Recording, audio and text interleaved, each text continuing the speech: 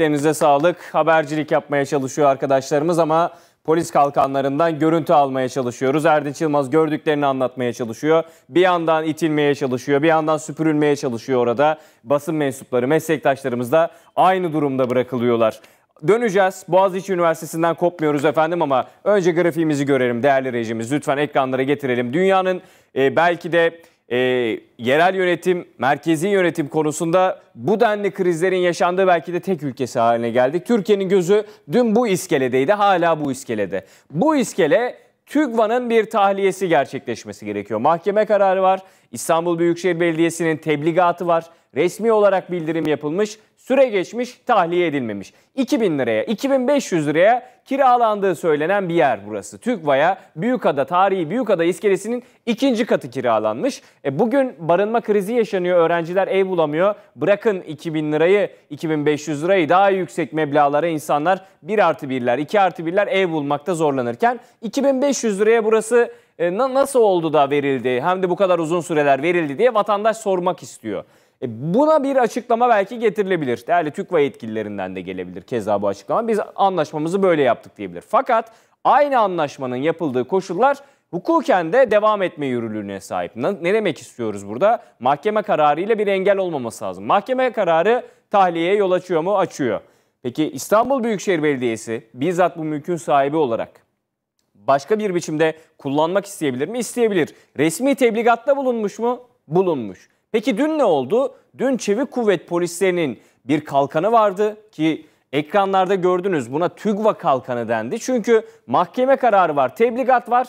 Oradan çıkışı için belki de destekçi olması gereken, belki de orada bir polis eskortuyla TÜGVA'nın e, tahliyesi sağlanması gerekirken aksine etraf çembere alındı. Büyükada iskelesinin ikinci katına çıkışlar durduruldu ve TÜGVA yetkililerinin, TÜGVA'nın eşyalarının ya da kiraladıklarının oradan tahliyesi gerçekleşmedi. CHP e, Adalar İlçe Başkanı beraberindeki hukukçularla birlikte darp edildi, merdivenden düşenler oldu. Tüm bunlar Türkiye'nin kaydına geçti, arşivine geçti. Peki bugün hangi noktadayız? Ee, sabah itibariyle öğrendik ki İstanbul Büyükşehir Belediye Başkanı Ekrem İmamoğlu ile İstanbul Valiliği arasında bir görüşme oldu. Valiyle görüşmeler yapıldı. Anlaşılan bu görüşmeler bir süre daha devam edecek. Peki bu sorun nasıl çözülecek? Hukuken mi çözülecek diye soruyor vatandaş. Ne kadar ayıp bir soru diye de altına not düşüyor mesajında. Hukuk söylüyor ama hukukun getirdiği yeri neden gerçekleştiremiyoruz? Neden tahliye gerçekleştirilmiyor? Orada bir nevi işgaliye sürüyor diye sormamızı istiyor. Bir bilene soracağız. Her zaman yaptığımız gibi İstanbul Büyükşehir Belediyesi CHP Grup Sözcüsü Tarık Balyalı karşımızda. Dün neler yaşandı özetlemeye çalıştık ama bugün hangi noktadayız onu da merak ediyoruz. Sayın Balyalı merhabalar, hoş geldiniz yayınımıza. Merhabalar, iyi yayınlar diliyorum. Çok teşekkürler. Sıcak bir yayınla başladık. Trabzon Havalimanı'nda bomba ihbarı. Neyse ki evet. e, bir sıkıntı yok. Şu an bagajlar aranmaya devam ediyor. İzlemişsinizdir. Boğaziçi Üniversitesi malumunuz. E, dün de buna benzer Maalesef. bir polis tartışması da siz yaşadınız. Çünkü bir polis kordonu bu sefer TÜGVA için tasarlanmış gibi görünüyordu. Dün sizin perspektifinizden neler yaşandı? Bugün hangi noktadayız Sayın Balyalı? Bugün tabii e, polis e, Boğaziçi Üniversitesi çıkan gençleri gözaltına almak için bir kordon oluşturmuş durumda. E, dün TÜGVA'yı korumak için bir kontrol, bir çember oluşturmuştu. Tam ters durumdayız. E, ikisi de genç öyleyse ama bir tarafta bugün Boğaziçi'lilere orada gözaltı yapılırken dün onlar korunuyordu ne yazık ki. E, bugün itibariyle de bizim e, hukukçu arkadaşlarımız valimizin e, göstermiş olduğu bir vali yardımcısıyla da e, istişare ederek sürece ilişkin bütün hukuki belgeleri kendilerine iletiyorlar, ilettiler ve buranın tahliyesini istiyorlar. Bugün geldiğimiz nokta bu. Bu konuda Sayın Valiliğin, valilik makamının vereceği kararı bekliyoruz. Biz elimizdeki bütün bilgi ve belgeleri kendilerine ilettik bugün itibariyle. Peki Sayın Balyalı dün yaşananlar CHP Adalar İlçe Başkanı'nın başına gelenler, beraberinde İl Disiplin Kurulu'nda görevli hukukçuların bizzat Halk TV yayında anlattılar. Ya merdivenlerden sürüklendik, birkaç basamak düştük, evet. omzumuzdan yaralandık diyenler oldu. E, dün yaşananlar nasıl bir hukuki sürece işaret ediyor? Siz böyle bir şey bekliyor muydunuz? Bunu örneğin Geleceğe dair başka konularla ilgili çıkarımlar yapanlar da oldu. Tahmin edersiniz ki işte TÜGVA bugün evet, burayı evet. tahliye etmiyorsa düşünün gelecekte neler olacaktır diye böyle karamsarlığa kapılanlar dahi oldu. Sizin perspektifinizi merak ediyorum. Dün yaşadığımız nedir? Türkiye ne anlatır? E, siyasi talimatla işte İstanbul Büyükşehir Belediyesi'nin bir takım mülklerini ele geçirenler, tahsis edilenler e, yine siyasi talimatla dün muhtemelen orayı boşaltmama emri aldılar ve onun için bir mücadele içerisine girdiler. Oysa ki e, Büyükada'daki iskelenin ikinci katını bir yıldır, bir buçuk yıldır hiçbir şekilde kullanmıyorlar. Düğün, dernek, kına gecesi, sünnet düğünü falan dışında hiç kullanmadıkları bir alandı orası. E, ve uzun zamandan beri işte kaymakamlıkla ve ilgili vakıfla yazışmalar falan vardı. E, sonucu buraya geleceği belliydi. Oradan bir siyaset yapma amacındalar. Öyle gözüküyor. Öyle bir talimat verilmiş gözüküyor. E, dün onun gereğini yerine getirdiler ama biz hukuka inanıyoruz. E, e, hukuka inancımız tam. Hiç geleceğe ilişkin bir şey söylemeye de hiç bu anlamda gerek yok. Biz hukuka inancımızı devam ettiriyoruz ama mücadelemizi de bırakmıyoruz. E, hukuken de siyaseten de yapmamız gerekenleri kamuoyunu aydınlatma görevini yerine getiriyoruz. Bizim şu anda yapmamız gereken bunlar. Belediyemizde hukukçuları da e, Sayın Vali Yardımcısıyla görüşerek bu süreci sonlandırmaya çalışıyorlar.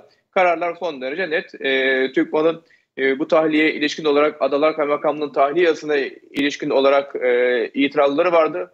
Önce yürütmenin durdurması kararını almışlardı ama daha sonra arka arkaya iki kez e, bu durdurma kararları e, kaldırıldı.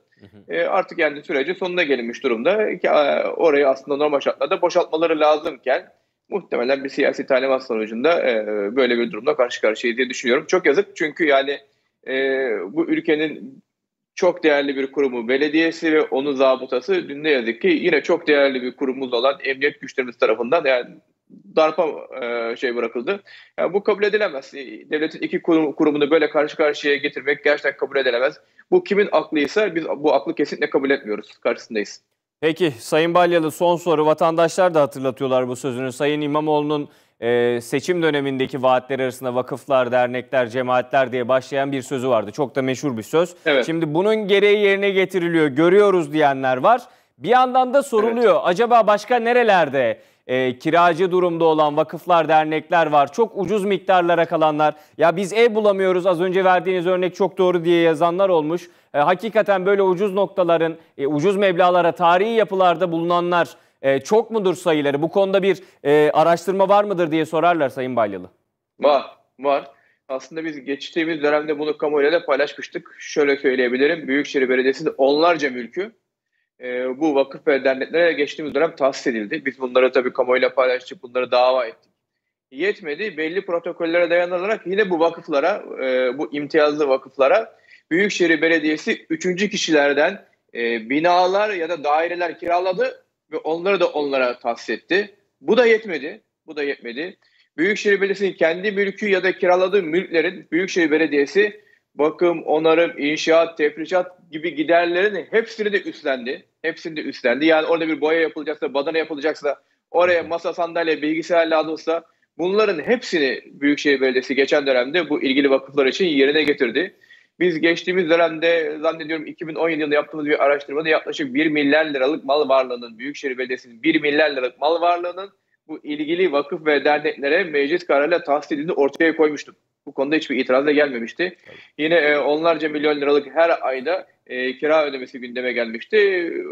E, çok açık söylemek lazım ki bu mülklerin tamamı İstanbul halkına ait ve biz bunları tekrar sahibine yani İstanbul halkına kazandırmak için mücadele ediyoruz hukuki olarak da siyasi olarak da mücadelemiz bu şekilde devam ediyor. Bakalım Büyükada iskelesinden bugün yarın valilik koordinasyonuyla da nasıl bir e, yöntem izlenecek biz haberciler olarak da takipte kalacağız. Sayın Balyalı çok teşekkür ediyorum vakit ayırdığınız için. Ben teşekkür ederim. İyi yayınlar. Sağ olun. Teşekkürler. İstanbul Büyükşehir Belediyesi CHP Grup Sözcüsü Tarık Balyalı anlattı. Dün ne yaşandı, bugün ne yaşanabilir? Ne oluyor? Valilikte görüşmeler, e, İstanbul Büyükşehir Belediye Başkanı Ekrem İmamoğlu arasındaki görüşmeler nasıl seyrediyor? Reklama gideceğiz. Zira canlı yayın noktalarımız var. Trabzon Havalimanı, Boğaziçi bir daha kesintisiz bir şekilde ilerlemek istiyoruz. Ülkede sıkıntı yok demiyoruz. Nasıl çözüleceğini en iyi biz biliyoruz. Bir kabul, bir itiraf ya da peşi sıra gelen bir vaat ortaya koydu. Cumhurbaşkanı ve AKP Genel Başkanı Recep Tayyip Erdoğan, Adalet ve Kalkınma Partisi'nin il başkanları toplantısında dakikalar önce kullandı bu sözü. Ülkede sıkıntı yok demiyoruz, nasıl çözüleceğini en iyi biz biliyoruz. Ne demek istedi? Perde arkasında neler var? Başka hangi cümleleri kullandı? Birazdan değineceğiz. Bu arada yatırım toplantısı vardı Merkez Bankası'nın. Dün dedik ya cebimiz nasıl etkilenir? Yatırımcılarla konuşacak Merkez Bankası. Başkan Şahap Kavcıoğlu bir açıklama yaptı. Enflasyon artışı etkisini yitirecektir dedi. Öyle midir değil midir? Ekonomistlere soracağız. Cep gerçeklerimizi, cebimizin hikayesinin peşine düşeceğiz efendim. Sadece Boğaziçi, Trabzon ve bu gösterdiğimiz detaylar değil. Aktaracağımız daha tonla haber, tonla röportaj var. Canlı yayın noktalarımız da var. Kısacık bir araya gidiyoruz. Birkaç dakika sonra buluşalım.